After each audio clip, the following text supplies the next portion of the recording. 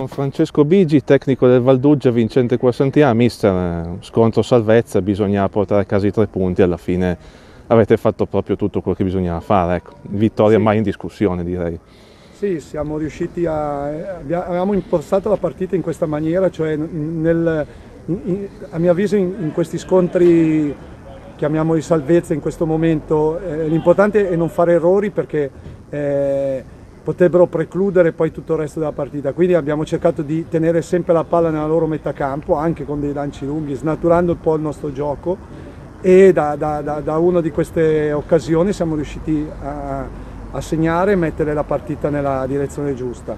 E poi credo che siamo stati bravi a, a rischiare il meno possibile, ecco, nella bagarre che giustamente loro hanno cercato di creare poi nel secondo tempo per, per, per rimediare. Ecco, certo. Oltretutto voi avete chiuso il 2021 con due pareggi importanti con eh, Piedi Mulera e Bule Bellinzago, quindi è anche molto importante inizia- sì. dare continuità a questi ecco, risultati. Infatti io ero molto dispiaciuto di non aver giocato le ultime due che erano questa e poi domenica con la Chiavazzese a fine anno perché stavamo benissimo e abbiamo ricominciato eh, a dire la verità con fuori Sardo Mancin e Antonioli che per noi sono tre titolari mm.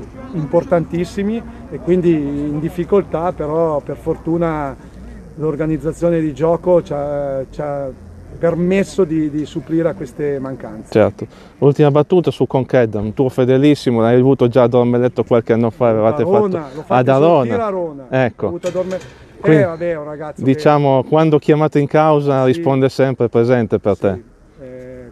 Eh, con che poi adesso che è anche maturato è un giocatore completo, che sa, sa difendere, sa attaccare, eh, sa quando è il momento di far male, insomma è, è un giocatore importante. Certo. Da ragazzino era molto cioè, eh, da, difficile da contenere ecco. per la sua esuberanza, adesso che è maturato è perfetto diciamo. Certo. Grazie mister, buon proseguimento. Grazie a voi.